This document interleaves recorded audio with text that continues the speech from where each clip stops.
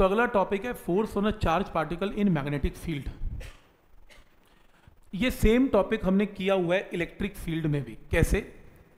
अगर मैं आपसे ये पूछूँ कि चलो इलेक्ट्रिक फ़ील्ड है, ये आपका इलेक्ट्रिक फ़ील्ड है। इलेक्ट्रिक फ़ील्ड में चलते हैं पहले। कंपेयर कंपैरिजन से इजी हो जाएगा।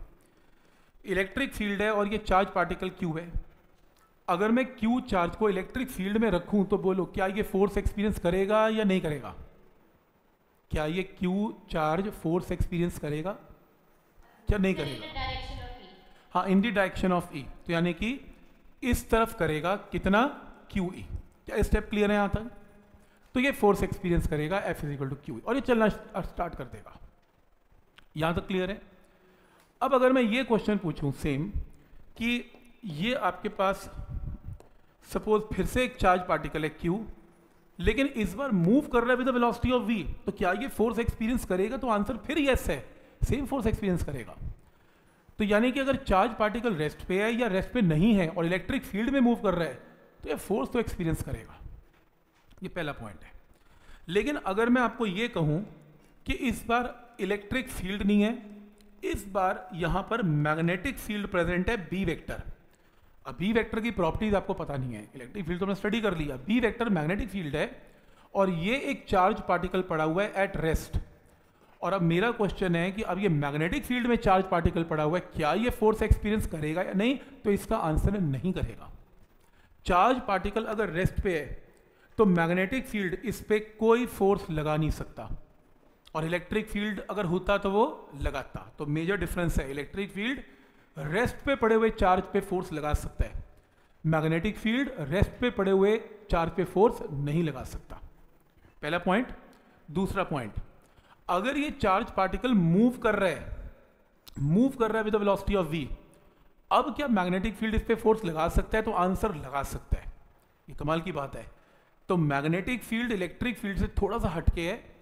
Magnetic field charge particle rest पे पड़ा हुआ है स्टैटिक चार्ज पे फोर्स नहीं लगाता, लेकिन चलते हुए चार्ज पे फोर्स लगाता है। अब वो कितनी फोर्स लगाता है, इसको कैलकुलेट करने का एक फॉर्मूला है। क्या फॉर्मूला है? अगर मान लो ये मैग्नेटिक फ़ील्ड है बी वेक्टर और एक चार्ज पार्टिकल है क्यू और चार्ज पार्टिकल मूव कर रहा है with velocity of V vector making an angle of theta with B vector तो वी और बी में एंगल कितना है? थीटा तो वी के कंपोनेंट्स भी बना सकते हो, ज़रूरत नहीं है वैसे।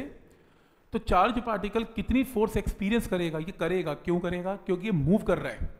और मैंने आपको ये प्रॉपर्टी बताई कि moving charge particle experiences a force by magnetic field तो कितनी फोर्स एक्सपीरियंस करेगा? B Q V sine theta तो B for magnetic field Q for charge particle का चार्ज वी फॉर वेलोसिटी और theta is angle between V vector and B vector तो अगर हम इसे वेक्टर फॉर्म में लिखें तो एफ़ वेक्टर क्या होगा? Q into V cross B याद रखना बी क्रॉस वी नहीं वी क्रॉस बी तो ये इसका वेक्टर रिप्रेजेंटेशन है। अब कोई कहेगा कि यहाँ पे साइन क्यों लिया? यहाँ पे वी साइन थीटा क्यों लिया? यहाँ पर वी कॉस थीटा क्यों नहीं लिया? क्योंकि यहाँ पर क्या यूज़ करना है? क्रॉस प्रोडक्ट और क्रॉस प्रोडक्ट का मतलब ओपन करने के बाद क्या आना चाहिए? साइन क्रॉस क्यों यूज़ करना है? क्योंकि ये दो वेक्टर है और मेरे को आंसर भी वेक्टर चाहिए। तो vector product is also known as cross product तो आप सबसे पहले फॉर्मूला रजिस्टर में ये फॉर्मूला एंटर करें। चार्ज पार्टिकल कितनी फोर्स एक्सपीरियंस करता है नोट करें। F is equal to B Q V sine theta और वेक्टर फॉर्म में नोट करें Q into V cross B ये दोनों फॉर्मूलाज को फॉर्मुला रजिस्टर में एंटर करें। और डायग्राम भी कर लें चाहे तो।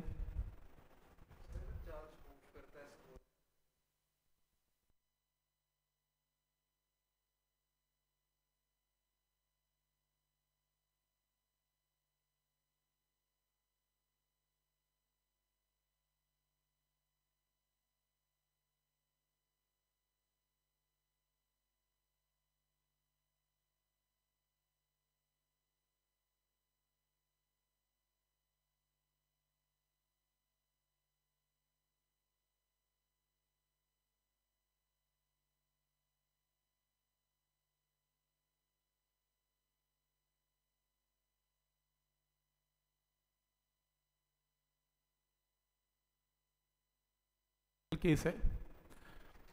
अगर मान लो चार्ज पार्टिकल मूव कर रहा है Q with a velocity of V vector along the direction of B vector V और बी एक डायरेक्शन में है। चार्ज पार्टिकल मैग्नेटिक फ़ील्ड के साथ मूव कर रहा है तो बोलो वी और बी में एंगल क्या है? ज़ीरो तो B Q B sine zero answer क्या आएगा?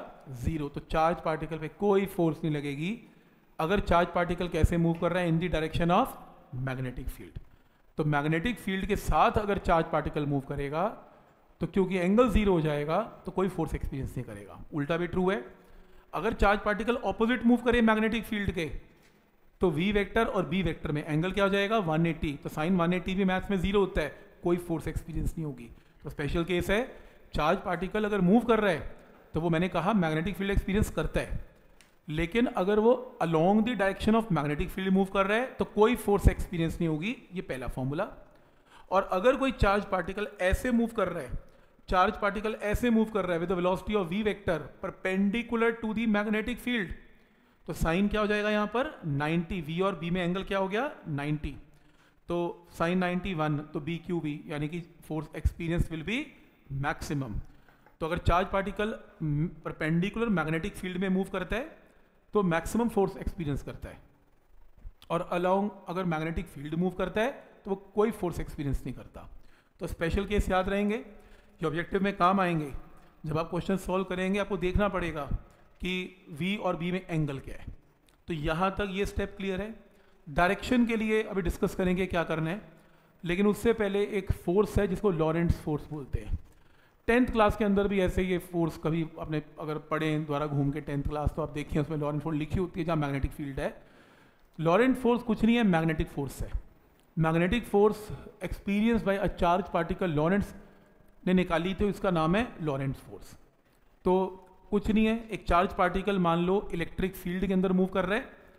इलेक्ट्रिक फ़ील्ड में वो कितनी फोर्स एक्सपीरियंस करेगा एफ़ इजिकल टू क्यू और वहाँ पर मान लो मैग्नेटिक फ़ील्ड भी प्रेजेंट है ई e भी प्रेजेंट है बी भी प्रेजेंट है तो मैग्नेटिक फोर्स कितनी लगेगी Q into V cross B अब क्योंकि इलेक्ट्रिक फ़ील्ड भी है मैग्नेटिक फ़ील्ड भी है तो नेट फोर्स क्या लगेगी चार्ज पार्टिकल पे? इन दोनों का वेक्टर सम तो इससे लॉरेंट फोर्स बोलते हैं।